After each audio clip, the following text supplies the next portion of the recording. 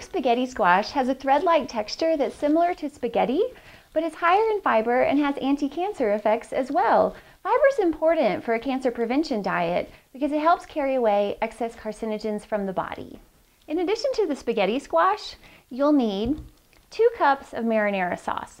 We're using the basic marinara sauce recipe from the website that already includes basil. If you're using plain spaghetti sauce, add two tablespoons of chopped basil. You'll also need two tablespoons of nutritional yeast or soy or rice-based Parmesan cheese, and then some optional radishes. You'll need a baking pan large enough to hold the spaghetti squash, also a sharp knife, a spoon, a fork, and a cutting board.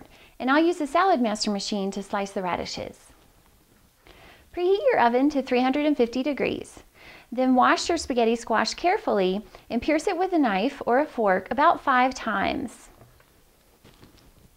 Place your spaghetti squash on a baking sheet and bake it in the oven for 30 to 40 minutes until it's tender when poked with a fork.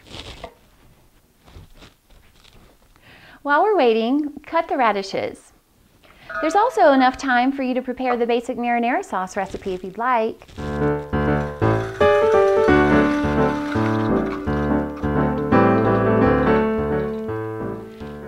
Spaghetti squash from the oven and let it cool.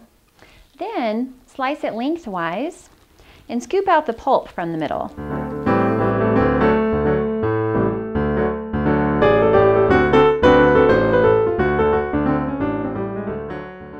Next, remove the spaghetti-like threads with a fork and place them back in the baking pan.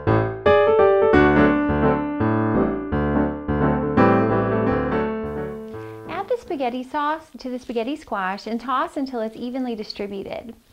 Then cover lightly with aluminum foil, return to the oven, and bake for 20 to 30 more minutes until warmed.